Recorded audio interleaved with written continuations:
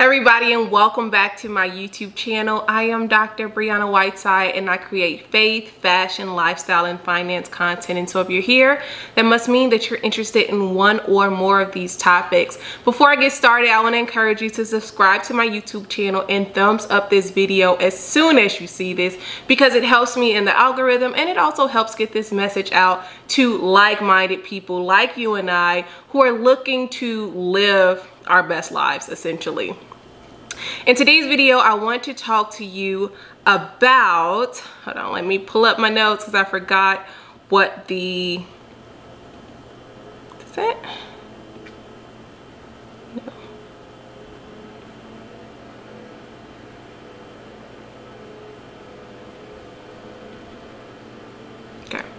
In today's video, I want to talk to you about participating in the wealth transfer. I know there's a lot of buzz about it. I know a lot of people are approaching this topic from different angles and I too am as well. And so I want to be as rounded as possible, right? I want to prepare my viewers and my listeners to be well-rounded individuals, not just go with the hype, not just shuck and jive because the Lord said he's going to do something, but also understand our um, position as kingdom citizens, but also understand our responsibility in participating in what he is bringing into our lives. And so I want to give you this message about participating in the wealth transfer. You all, God has really been speaking a lot to me lately and not that he hasn't ever spoken to me before but in the in the vein of the prophetic or in the vein of you know, teaching people like you watching, he's been speaking to me a lot more, right? Um, a little bit about my background. I grew up in a prophetic house um, from the south side of Chicago. So I grew up around the gifts of the spirit, right? And so I am an apostolic teacher. And I don't say that because I want to get into you know, the church world because I really don't. Um, I'm saying that because of the way that I function and I operate, right? I am a builder. I operate on systems and structures. I also am a teacher. That is my profession. I am a born teacher in a lot of ways. And so I also just happen to be an educator, college professor. Um, you can call me Dr. Bree anyway um, so the way that god has been telling me that or alerting me that it's time for me to take go move from the front to the back is through these YouTube videos. He's been confirming and downloading to me and this message in particular started to drop in my spirit yesterday and it was at an inconvenient time because I've been feeling a little sick or a little sickness trying to come up on me so I've been attacking it with I got my um, got my orange juice in my favorite mug here and some vitamin c i've been amping up my um amping up my vitamins because i felt a little sickness trying to come on but it was an inopportune time because I wasn't feeling particularly well yesterday when he started to download this message to me. In fact, the way that he started to download it, I heard a scripture. Didn't know where it was in the Bible, knew it was in a, in the Bible. I'm notorious for not knowing book, chapter, and verse, but I knew it was in the Bible. And what I heard was, an Isaac sold in the land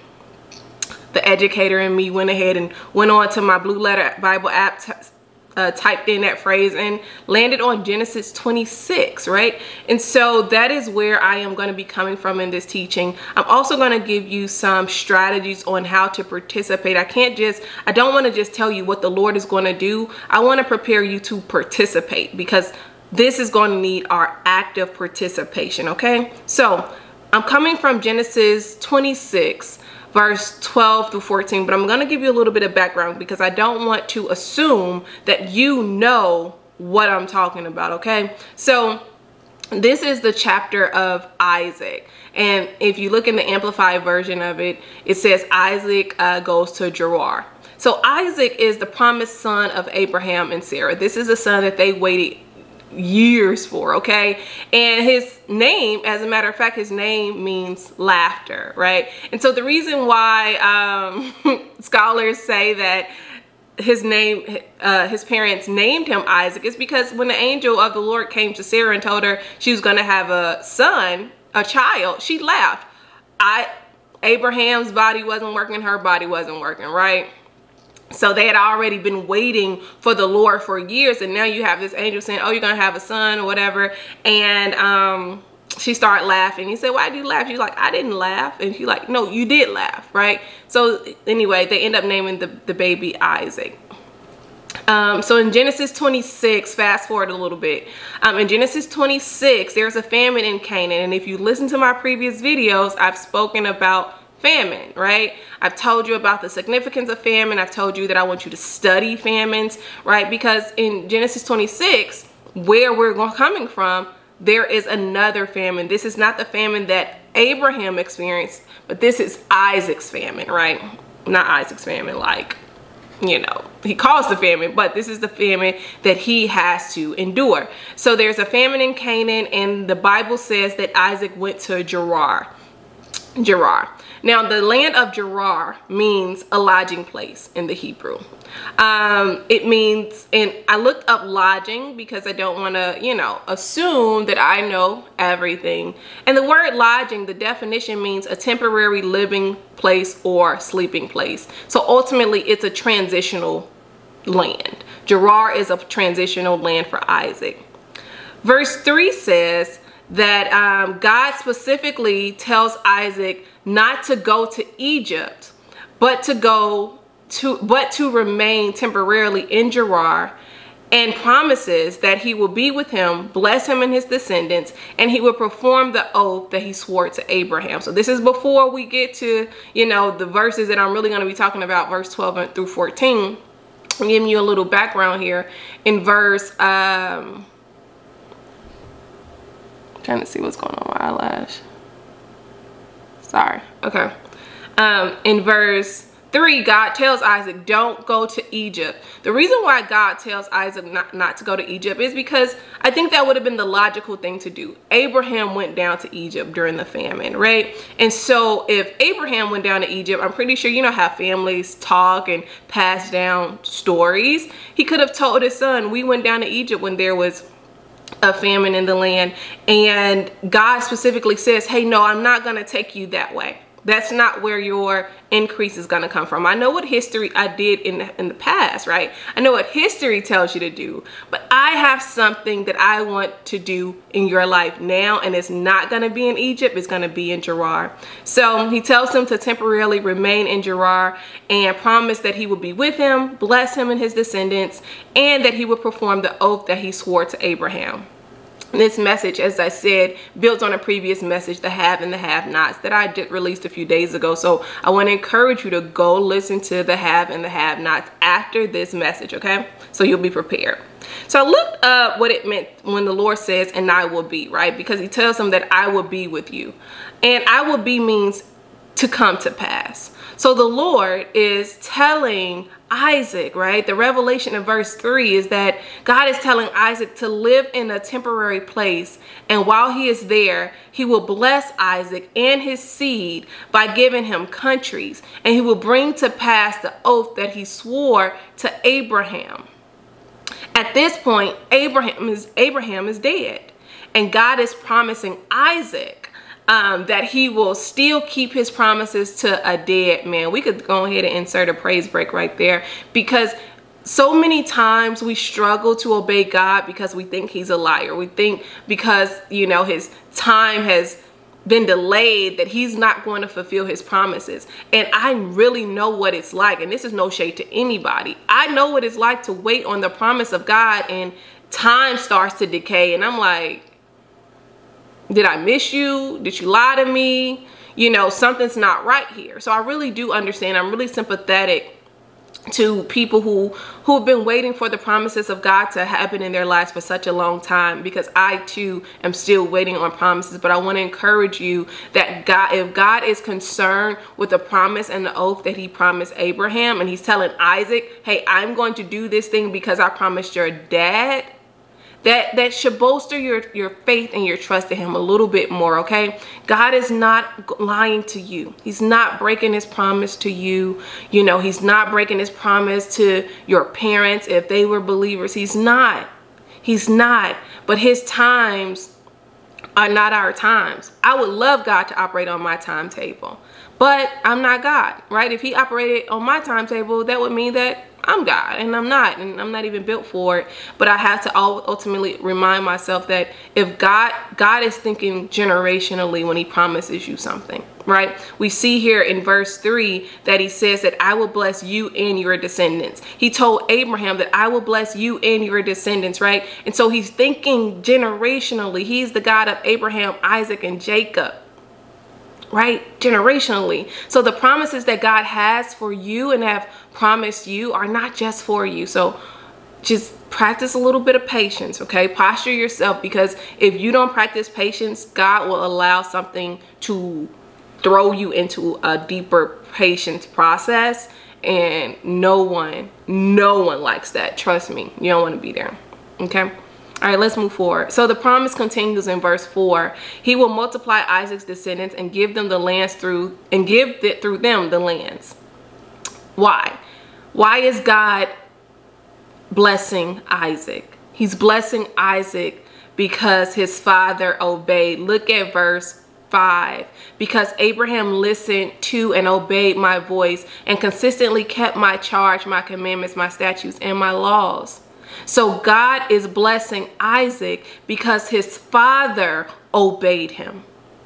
So your obedience too is generational, right? Your decisions right now don't just impact you.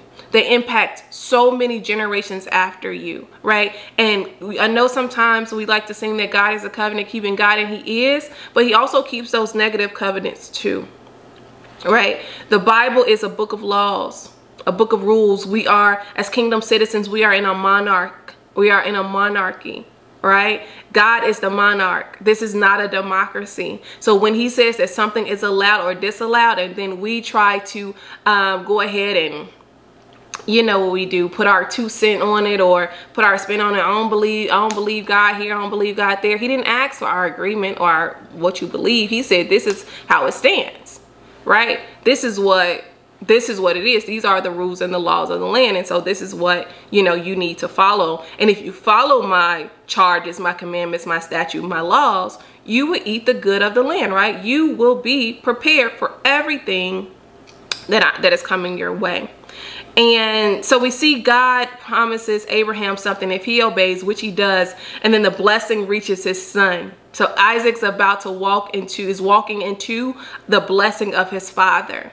So again, I just want to remind you that how you live matters. When you make ill-informed decisions, they're going to show up in your lineage, right? I can't tell you how many, how much I am having to pay for because someone in my lineage decided that they weren't going to obey God.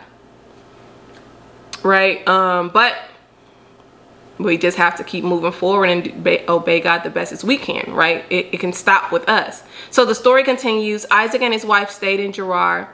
Um, he lies about his wife being his sister, like his father, and I don't want to park there um, because a lot of people already parked there, right? But Abimelech, the king of the Philistines, calls him out on his lie, and Isaac confesses. So now we're all caught up. Now we're all caught up. Let me drink some of my orange juice. Okay, so let's go, let's recap. Let's look at um, verse 12 through 14. Okay, it says, Then Isaac sold in the land and received in the same year a hundredfold. And the Lord blessed him. And the man waxed great and went forward and grew until he became very great. For he had possession of flocks and possession of herds and great store of servants, and the Philistines envied him. All right, let's break that down. Let's break down verse 12. Then Isaac sold into the land, and he received in the same year a hundredfold. Friends, I need you to understand that the land is an economic system, which means that Isaac participated in an economic system while there was a famine. Don't forget that. The context matters he sowed. To sow in Hebrew means to scatter seed. So Isaac sowed, he scattered seed or he invested into an economic system and he received a hundredfold on his investment. The Cambridge Dictionary defines hundredfold as a sudden hundredfold of increase, right? And so you know that word suddenly means surprisingly. So Isaac had to participate within a world system while there was economic hardship in order to suddenly reap a return on his investment a hundredfold. How does this relate to you? Because we are there right now. We are in the middle of economic systems collapsing. We are in the middle of what some may call a soft recession. We're there. There is no there is no, you know, denying it. But what can we do about it? Nothing. How can we make it work for us? I'm about to tell you how as soon as I get through this message. I mean, get through the rest of this message. All right, so um, then there's this wonderful punctuation mark called a colon, right? Sometimes people read over colons, they don't pay attention to the punctuation in the text, but punctuation matters. I'm an English professor, so I know. So there is a colon um, in this verse indicating that what follows is an explanation or an elaboration of what precedes it. So the scripture reads, Then Isaac sold into the land and received in that same year a hundredfold colon. Right? And then what comes after the colon is, and the Lord blessed him. So if we look at the sentence, then we can see that it was God nudging Isaac to one, um, endure the tensions of this temporary place, right? Gerar, this temporary lodging. But while you're in this limbo, in this in-between place, I want you to invest or scatter seed in the economic system of Gerar in order to yield a sudden return on your investment. Remember, in the biblical days, they wasn't trading during Isaac's time, they wasn't trading with money, currency in the way that we do, but land, um, animals, all of these things, those were part of their economic currency, right? And so while Isaac may not have sold dollars and cents, he did participate in that economic system while everything was on sale, while people were um, hoarding their seeds, while other people were afraid to sow into this place because there was a drought Isaac said, okay, I am going to not let uh, this crisis go to waste. I, in fact, I am going to, um, I am going to see a return on my investment because I'm going to invest when other people are withholding. All right, so then verse 13 says, and the man waxed great and went forward and grew until he became very great. So let's break down these words. Wax great in the Hebrew means to grow, to become great or important, promote, make powerful, magnify, or do great things. Forward, because he said, and he went forward, means to proceed, to live a manner of life. And I looked up the definition of manner of life, and it means how you think and act at all times, right? A, your state of being. And so the, the scripture continues, and he grew until he became very great. Grew means to become great. Very means exceedingly or abundantly. And become became great means powerful or to do great things. So the verse summary here is, and Isaac became great and proceeded to live in, in a manner or a state of being of greatness and grew until he became abundantly powerful to do great things. Then there's another colon, right? And again, as I told you, that the colon in the verse indicates that what follows is an explanation or an elaboration of what precedes it, right? And so, how did Isaac become so powerful and great? Because he had wealth because he reaped a hundredfold on his initial investment, because he participated in the economic system when other people were running away, right? Other people were running away from the burning house. Isaac said, This is an opportunity. Everything's on sale. Let me sow into this land because it will turn around and I will reap a hundredfold on my investment. And the Bible says that verse 14 says, For he had possessions of flocks and possessions of herds and great store of servants, and the Philistines envied him. Possession means a state of having, right? Owning or controlling something. Flocks mean small cattle or sheep or goats. Flocks refer to something in small number like 3 to 15. Um, and then we have herds. Herd is a large group of animals. Um, and then they are kept together as livestock. And so your herds are kind of like 30 to 70 in number. A great store breaks down means to, to have many. So a great store, that phrase, because it says that he had a great store of servants. A great store is many. And servants and servants is either service or household of servants. So Isaac ran a business as a, as a result of this. As a result of reaping 100 fold, he was able to provide a service in the time of famine. And then there is this colon again, right? There's another colon there. And it says that, um, what is the verse? For he had possessions of flocks, comma, and possession of herds, comma, and great and a great store of servants, semicolon, and the Philistines envied him. So ultimately, um, the Philistines envied Isaac because he was producing at a much greater rate than they were right? They were jealous of them. Why were they jealous of them? Because they too were participating in the economic system. But they were they were not favored by God. God favored Isaac.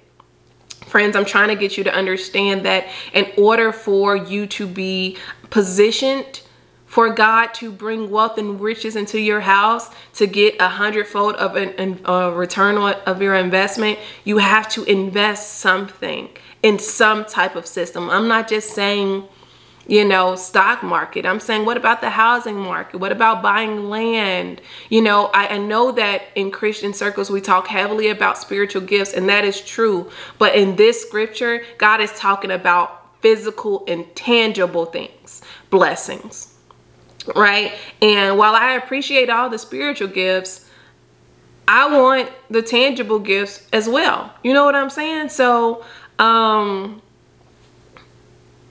I'm just to leave that there for you, okay? I want you to to uh, understand that God was encouraging Isaac to invest in the economic systems. And so I want to kind of talk to you about some ways to invest in the economic systems. I want to give you some insight because I want you to pre be prepared.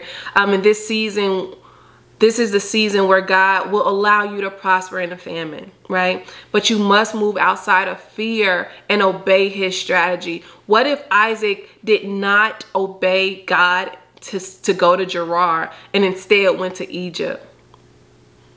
Right? Do you think he would have reaped a hundredfold on his investment? No, because that's not God where God tell, told him where the provision is.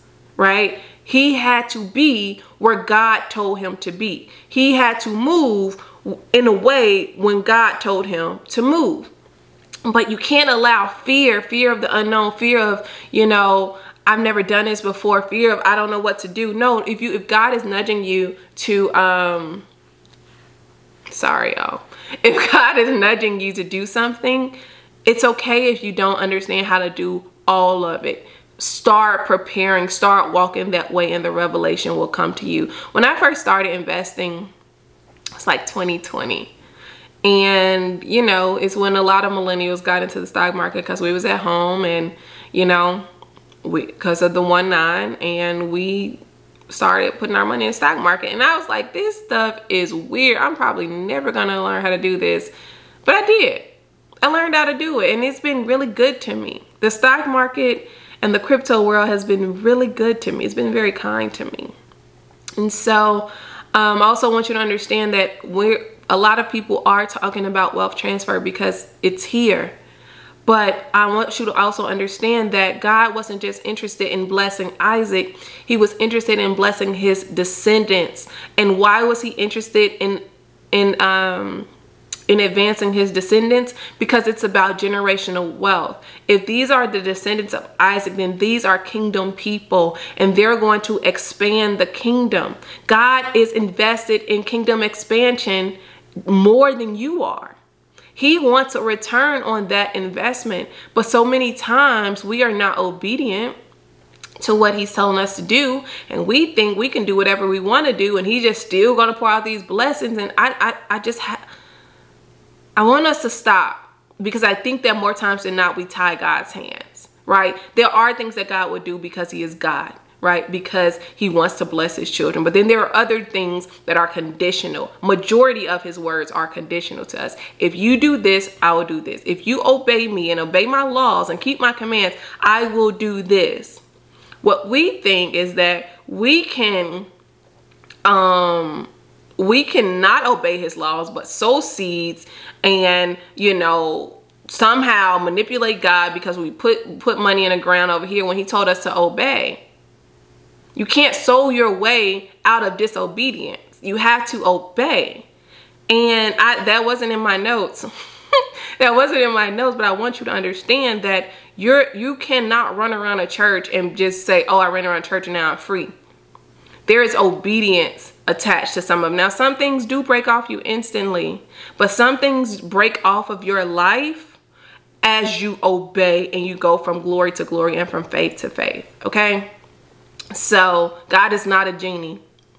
Okay? You can't just rub him and just think he gonna do whatever you want to do. No. Have you been obedient? Are you doing what he's telling you to do right now? Right now. Me showing up on YouTube is an act of obedience. Y'all, I've been up since 5 a.m. It took me two hours to study this stuff out that I'm sharing with you. Then I had to get ready, set up the camera, do all this other stuff. And I, I still haven't even started my work day. Okay? I still haven't started prepping for class tomorrow. But because I'm obedient and I feel that there is a demand on my life to do this, I have to prioritize the kingdom. When we're thinking about wealth transfers, we're thinking about transfer, that, that equals responsibility. What when God transfers something to you, that means that his priority has to go to the top of your priority list, right? It's not easy. It's not beautiful. It's not glamorous. It's responsibility and I want to sober you up because I see a lot of videos about people talking about wealth transfers and it's true and it's here and it's coming. But also there is responsibility attached to it. You need to be responsible now. You can't just be living random. You can't just be out here just, you know, throwing caution to the wind. Time is out for that, right? And I'm not trying to scare you. I'm trying to prepare you. I'm trying to sober you up because you you can miss it. You can miss it if you're not prepared. You can miss it if you haven't proven yourself to be trustworthy, right?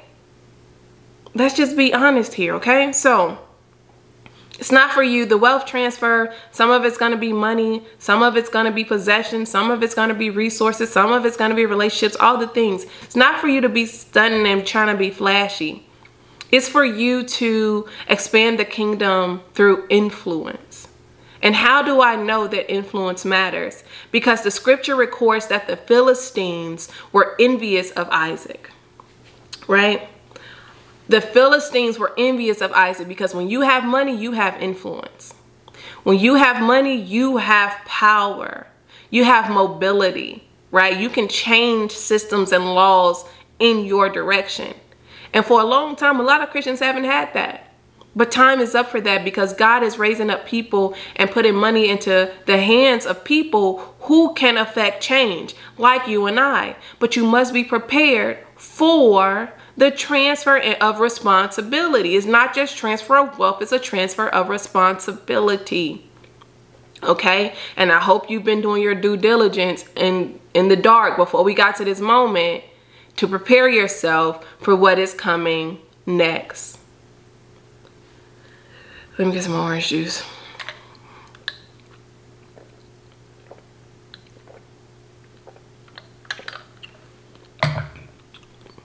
All right, so let's get into the practical side of transfer. Okay, so according to Forbes, fortunes are often forged or fumbled away in the fire of economic downturns. Y'all, this is really good news. I know it sounds pretty bad, but it's, it's really good news. Let me read it again. Fortunes are often forged or fumbled away in the fire of economic downturns. Why is this? Because of fear, uncertainty, and doubt. During economic during economic hardship, people spend less, store up, hunker down, which are all good, right? Which are all responsible things to do. I'm preaching about responsibility here. But what happens when that hardship is over? Have you let the crisis go to waste? I always say this don't let the crisis go to waste. So, yeah, you know, you closed your hand during the famine, right? Yeah, you hunkered down, you stored up, you saved your money. But then when you come out of the famine, you have the same thing or potentially less than what you had when you went in there. What am I telling you? I'm saying that if you close your hand during economic hardship, you're going to kill your seed. What if Isaac didn't sow in Gerar? Would he have reaped a hundredfold on his investment? No, because he didn't plant it in a ground. And I'm not, this ain't a message about you sowing into me, because I'm not even gonna ask you to fight for no money. I'm saying that are you sowing into the economic uh, systems while they're down that you wanna see a return on investment in? Are you? Think about this in God, in, in, in, in, in, a, uh, the idea of God. Right, this is just coming to me as I'm speaking. God invested so many seeds of greatness within everybody, right? And he knew we was going to be raggedy, live our raggedy lives. And some of us were going to choose him and choose to obey. And some of us weren't. He knew this. But he still gave us, though, planted those seeds of greatness, even when we were in our raggedy phase, which is down, right? When we're down. Because he knew one day he's going to get a return on investment. So what if God said, no, I know you're going to live raggedy for 10 years and I ain't invested nothing in you. He can't expect a return on investment from you. What you're seeing me do right now is God reaping a return on investment of the gifts that he had plant, implanted in me and cultivated over the years. This is his harvest, right? What harvest is he getting out of your life? What, what, what is the ROI? Because it would be foolish of you not to think that God doesn't want an ROI. I mean, you and I want an ROI all the time, right? Reciprocity. So what ROI is God getting from your life? It's food for thought. Okay, so let's quickly talk about um, the stock market. Really quick, brief overview. Um, formed in the late 19, um, 1700s, a small group of mer merchants made the Buttonwood Tree Agreement the men met daily to buy and sell stocks and bonds, a practice that eventually became the New York Stock Exchange, right? That was the late 1700s. 1790, and I got this information from, um, the source is SoFi. Um, and so in 1790, the Philadelphia Stock Exchange is formed, helping spur the development of the U.S.'s financial sector and the country's expansion in the West. 1896, and this is just like some pivotal, you know, moments. 1896, the Dow Jones Industrial Average, which we just call the Dow Jones, is created. It initially has 12 components that were mainly industrial com um, companies. 1923, the early version of the S&P 500 is created by Henry Varnum Poor's company, Poor's Publishing. It begins by tracking 90 stocks, 90 stocks in 20, 20, 1926. Sorry about that. In 1929, um, the stock market crashes after a, the decade-long roaring 20s, and we're kind of familiar with that, which spurred into the Great Depression, um, when speculators made leverage bets on the stock market, inflating prices. We got a lot of inflation going on. I think right now we're in the process of deflation. Um, during the decade of the roaring 20s, speculators made leverage bets on the stock market, inflating prices. The rise in the share prices was followed by the stock market crash of 1929, and the shares took years to recover. The key uh, bit of information that I want you to hold on to is that they did recover. Okay. Then we have the crash of 1987 when corporate buyouts and portfolio insurance helped prices in the stock market run up until October 19, which becomes known as Black Monday. Um, in the United States, the Dow Jones dropped 22.6% in a single trading session, a loss that remains the largest one-day stock market decline in history, but it did return, right? 2008, the stock market crashes after the boom and bust of the housing market along with the proliferation of mortgage-backed securities in the financial sector. On September 29, 2008, the stock market fell 770, 777 points in a trading day. It was at the time the biggest drop in history. The immediate cause of the market crash was Congress's initial refusal to pass the bank bailout bill that would stabilize the American financial system after a series of historic stocks, but it did recover.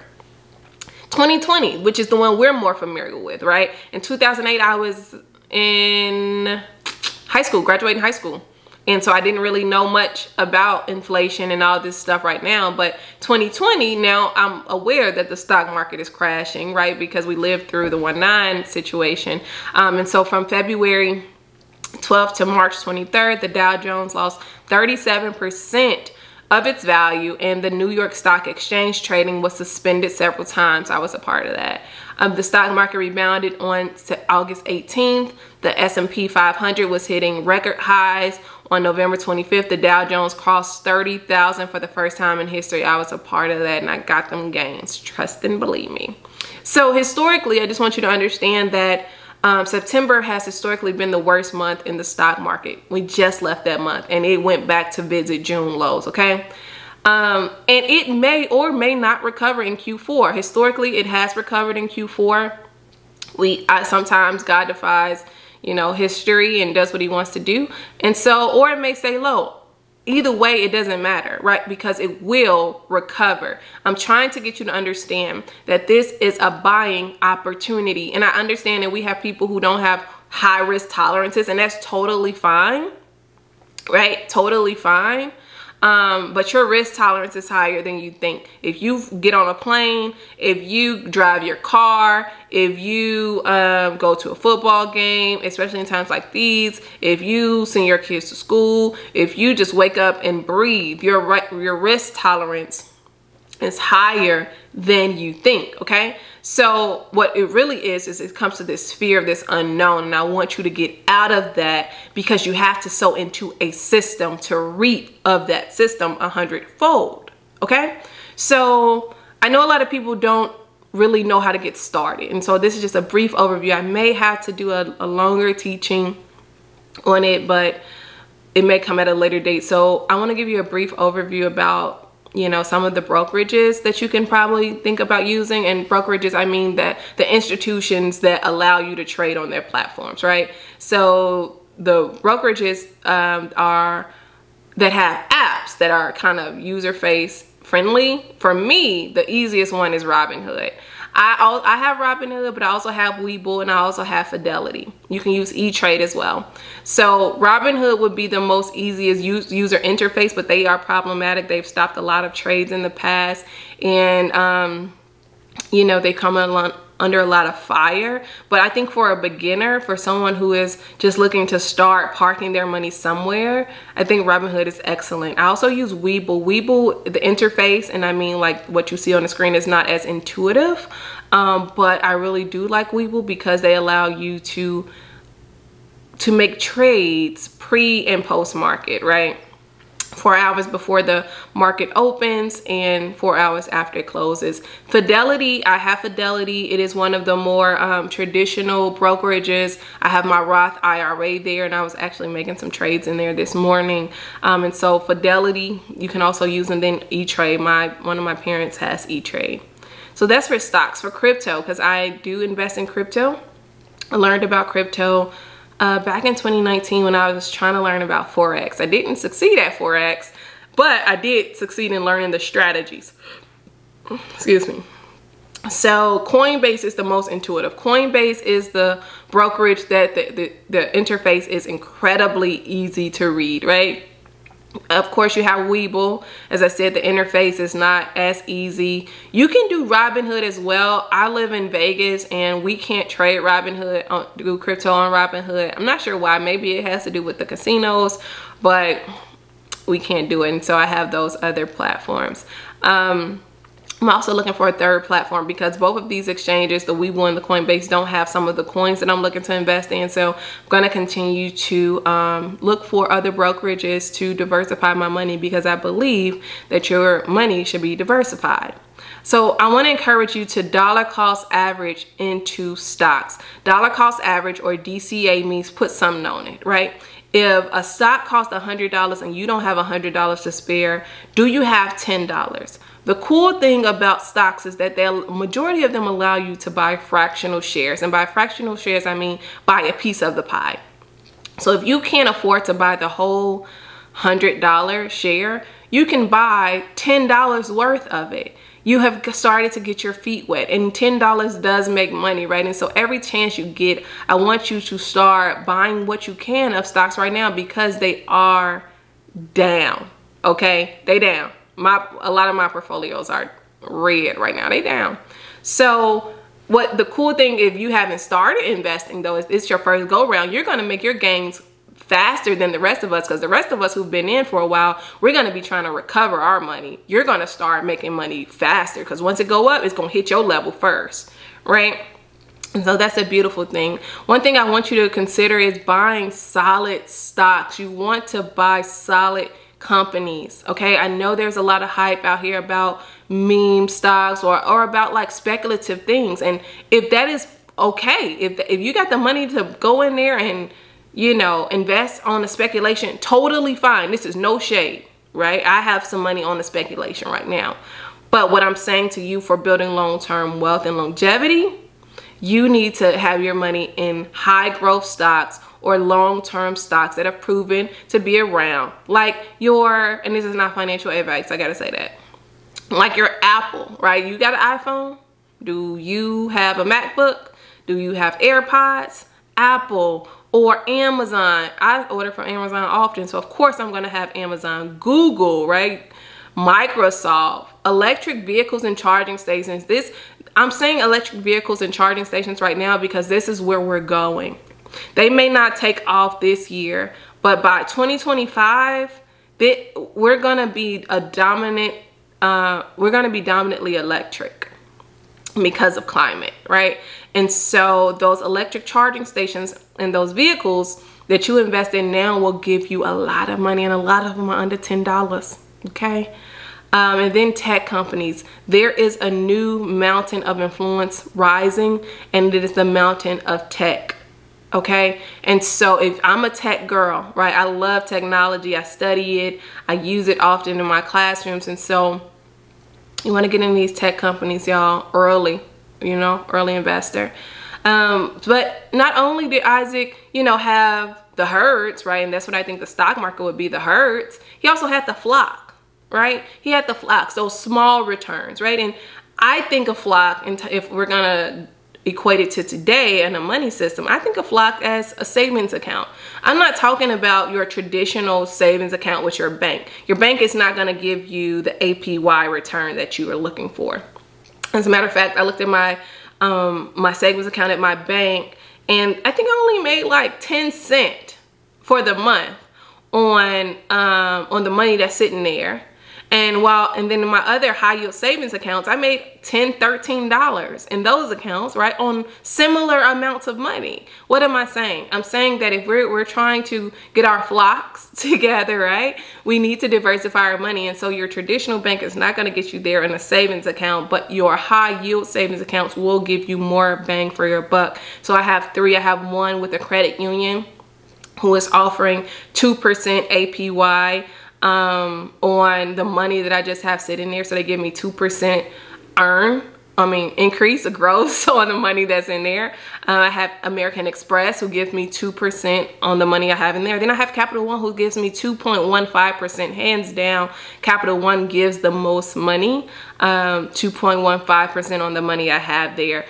What am I saying? I'm telling you that there's always more than one way to skin a cat okay there's always more than one way to skin a cat if you don't have the tolerance of a stock market okay how can we get you to, to, to, to, to secure your flock let's go high yield savings account right but if you do have $20 like or even $10, y'all, a cup of Starbucks coffee costs almost $7. So sacrifice your Starbucks coffee and invest that $7. You're, you threw it away anyway. When you drink that coffee and you pass it through your body, it's gone, right? It's gone. It's gone, okay? Um, one thing, one fascinating thing that God has been talking to me about lately is about buying land. I didn't know the first thing about buying land, so I kind of put it off a little bit because I'm like, I don't even know how to buy land. Like, I don't, I don't even know where to start, where to look, where even to think about it, right?